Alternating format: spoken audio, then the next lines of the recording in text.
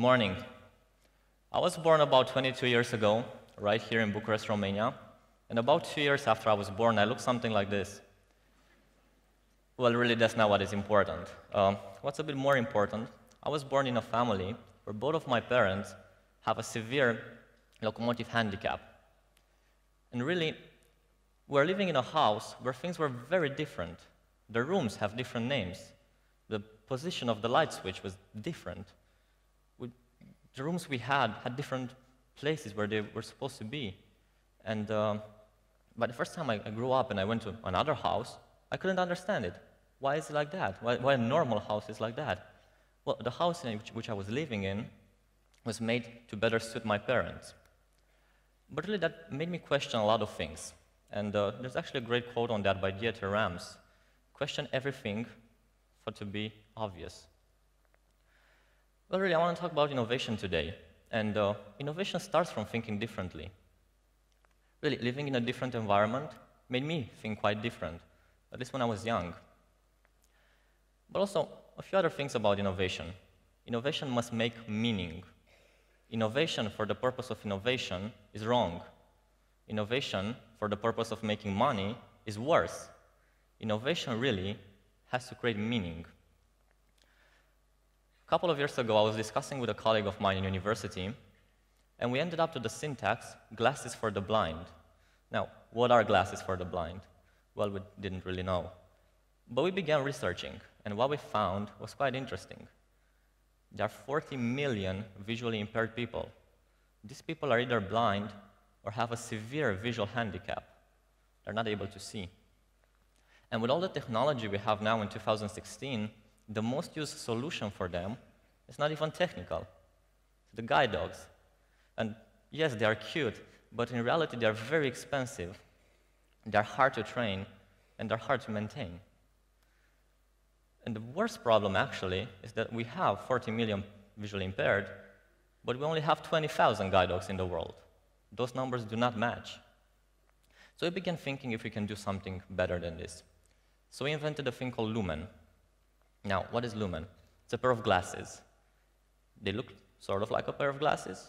You put them on like a pair of glasses, but they really work quite different than a pair of glasses. How do they work? Well, they have this 3D sensor, which can understand the distance and the shape of everything in front of the user. It knows there's a black thing over here, a monitor. It knows there's a second one here. It knows I'm on a floor. And we take all that information and we transfer it to the brain using electrical impulses on the forehead. Well, to make an analogy, if I would have this object over here, I would feel a slight tingling in my forehead, in this area. If it's closer, the tingling is more powerful. If it's further away, it's less. But if I would have this object over here, I would feel it here. And if the object would be moving, I would just feel it all over the forehead, how it is moving. By doing this in people who have better tactile feel, you can really get, get some amazing results. People for the first time were able to walk through an open door without touching it, blind people. They are able to understand the environment they are in without touching anything. They were able to catch a ball for the first time in their lives. Right now, Lumen is in a late prototyping stages. We're doing indoor tests. Hopefully next year we'll be doing outdoor tests, and who knows, in two years, most probably will be on the market. But really, when we started this thing, we never thought about making money out of it. We just thought about making some meaning out of it, bringing some meaning in what we're doing. But what we found on the way is that the market for this product is in the order of billions of dollars. Make meaning, not money. Money will come afterwards. Innovation is usually connecting the dots. Now, what dots will you imagine can be connected? For example, what would be the relationship between a Toyota Hilux pickup truck and newborn babies? Well, in the world, it turns out we have these things called incubators. When a prematurely born infant is born, you have to put it in such an incubator to be kept at a constant temperature for a prolonged period of time. The problem with these devices is that they're incredibly expensive and developing countries cannot afford them. So the people in Africa were thinking, okay, what can we do about this? They had all these Toyota Hilux pickup trucks, So they took the headlights from a Toyota Hilux pickup truck and used them as heat sources in an incubator. This is the cheapest incubator in the world. It sells thousands of lives each day. Innovation comes from exposure. Now, right now, the industry and academic life generally teaches us to focus very, very much on one thing. We have a lot of experts. The problem is, when you focus a lot on one thing, you kind of lose sight what's around you. And that's why we have quotes like this one.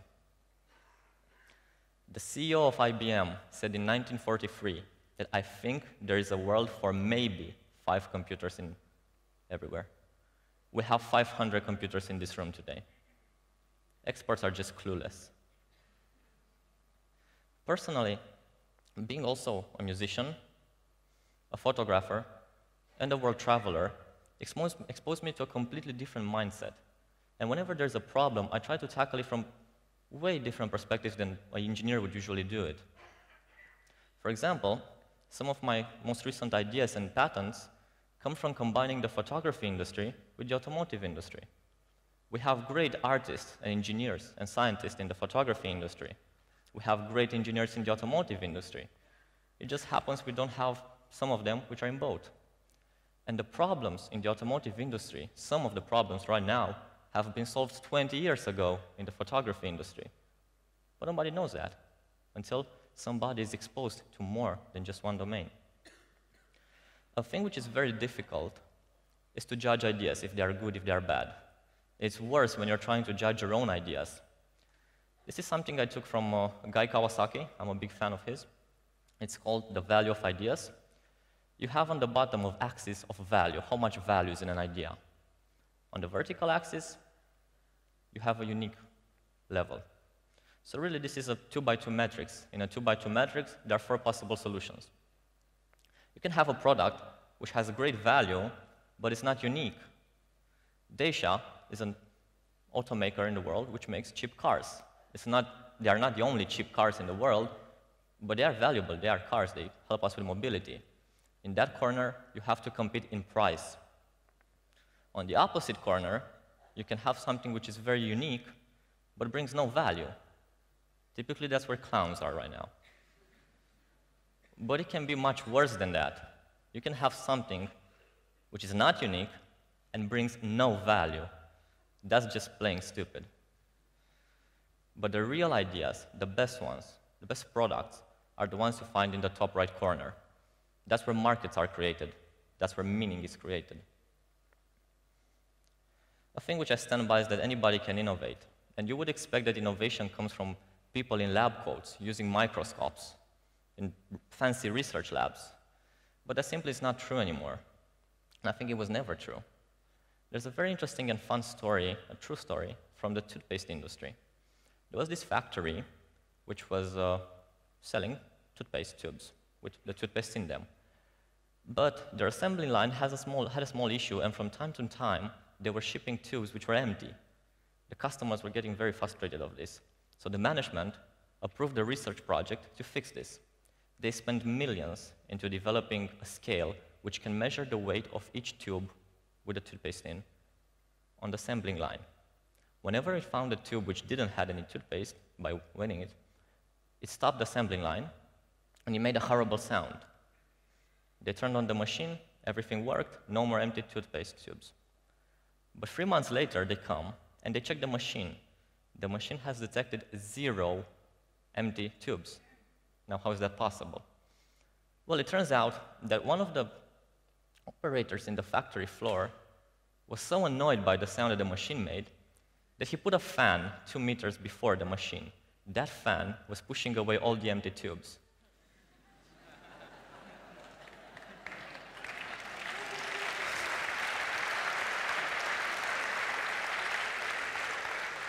With $20, he solved a $1 million issue. Anybody can innovate. This year, I wrote 49 patents. I'm leading over 20 innovation projects, just like Lumen. And I've been nominated by Forbes USA as being one of the 10 most influential people under 30 in Europe. For, thank you.